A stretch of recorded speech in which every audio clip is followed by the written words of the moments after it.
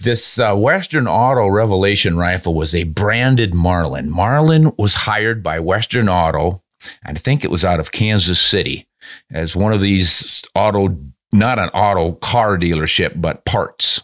So they would hire Marlin to build him a rifle with their branded name on it. So Marlin would just stamp out another 336 lever action 3030 Marlin rifle, but instead of saying Marlin on it, it said Western Auto Revelation. gave it a model number and everything else. Now I would imagine that um, they cut some corners to lower the price and made it a little extra special, or maybe they went the opposite direction and made an extra fancy one. Whatever they would really order, I suppose.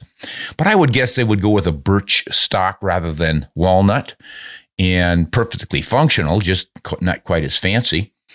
And maybe they would use a little bit, I don't know, something different, but it was essentially a Marlin 336 lever action rifle. So